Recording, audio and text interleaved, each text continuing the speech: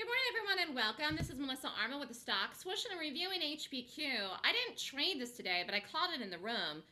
I, am a stickler for the entry, and it, and it was a little bit late, but it was still a 20 cent stop, so a lot of people did it. And, and, and this actually has a nice target on the day here. It's still going. Targets are $12, 11.80, 11.75. Uh, this could go to 11.50 today, and that isn't that isn't crazy. That's not a dream target.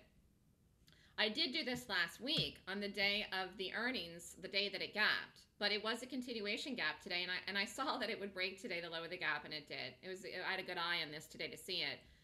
I looked at it. I looked at it early, and then I was scanning for other stuff, and then I missed the perfect entry. But I, then I called it here. So the really people that did in the room did it here around 37, 38, 39. Stop is 20, is 55, 1255 this this was the perfect entry though. 47 by 55. Now that I would have done, but I was looking at other stuff. I should have just kept staring at it. I never thought it would break like this early. It, it did though. It actually broke way before 10 o'clock. It broke at 9:40. Nice, nice, nice move in HPQ, and it, and, it actually any. This is the high of the day for this today here. This number here, this will hold this 1261. So anything today this does on any short trade is short in this today. Target's 12. Low of the day in here right now is 12.10, but I don't, that, that won't hold today. So this is a nice short. And it just goes to show you the power of the gap. Market's rallying today and HPQ is lower. It doesn't matter what the market does if the power of the gap is there, is intact. Was it? Yes. It was in the day of the gap that happened here, which it fell off a planet. I'll go show you that chart in a minute. This is the day I shorted and had a great day before Thanksgiving. This day today, I did not do this, but I did call it for the room and then people did it.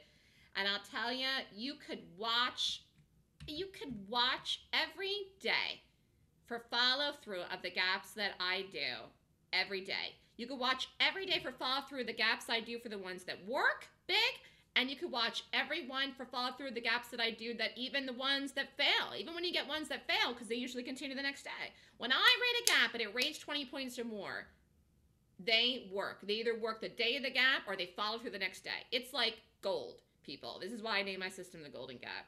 Anyways, here was the day of the gap. Open, fell off a planet, shorted it, had a beautiful trade in here, got out here, it still went further, and it's, it's even going now. So the low of the day of the gap was 1226. It's now at 12, 1220. But today was at 1210. This is a this is an amazing gap. This could turn out to be like P, which P had a lot of short plays in it the one month of the 30 day period. This could turn out to be another P. Just watch it every day to short. Every day, day after day after day. This could continue again another day tomorrow. Don't know where this closes today, though. You could short any any setup in this today is shortable because the high of the day is 1261 set on the open.